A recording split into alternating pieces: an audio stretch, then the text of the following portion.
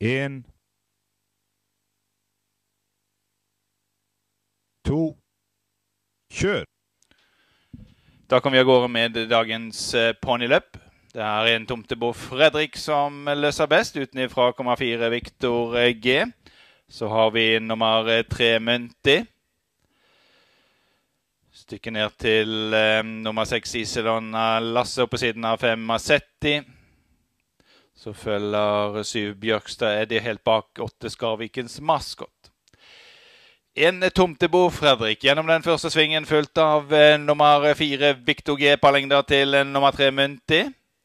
Så seks Iselon Lasse som har startet eh, bra, sammen med fem Masetti som har tapt noen lengder. Så følger syv Bjørkstad Eddie åtte Skarvikens maskot.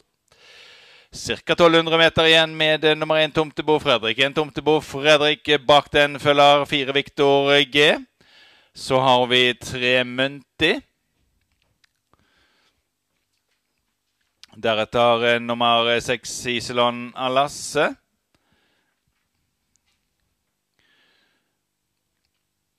Så er eh, syv Bjørkstad Eddie på utsiden av fem Masetti galopperer seks Iselon Alasse. Runden igjen med det en tomtebo Fredrik. En tomtebo Fredrik, fire Victor G, som følger eh, tre Munti.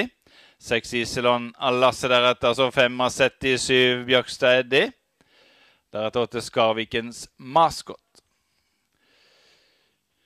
Nummer én eh, Tomtebo Fredrik. En Tomtebo Fredrik eh, som fortsatt fører. Fulgt av nummer fire Victor G, som har trøblet litt. Deretter da nummer eh, tre Munti. Tre Munti på siden av eh, nummer én Tomtebo Fredrik. Bakfra i fin fart til nummer seks Iselon Lasse, så kommer åtte Skarvikens maskot, som har fin fart. På den siste siden nå med det tre Munti. Tre Munti på siden av nummer én Tomtebo Fredrik. Galopperer en Tomtebo Fredrik, så vidt. Så har vi seks Iselon Lasse nå som har bra fart idet vi har 600 meter igjen. Så har vel åtte Skarvikens maskot vært innom galoppen og tapt litt. Vi skal nå straks inn på den siste svingen, så kaster seks Iselon Alasse seg over leddene tre mynti. Seks Iselon Alasse nå mot føringen på den siste svingen, fulgt av tre mynti. Så har vi en Tomtebo Fredrik. Bakfra syv Bjørksted i åtte Skarvikens maskot. Men det er nummer seks Iselon Alasse nå som har Ja, så trøbler også den. Galopperer på nytt.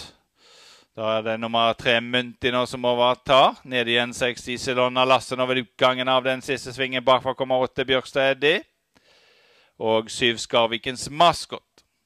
Kommer her med oppløpet igjen nå med nummer seks Iselon Alasse. Fulgt av nummer tre Munti bakfra i fin fart. Åtte Skarvikens maskot.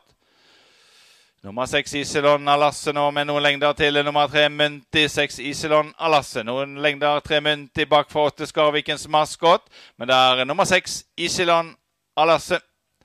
Fulgt av nummer tre Mynti, så åtte Skarvikens maskot.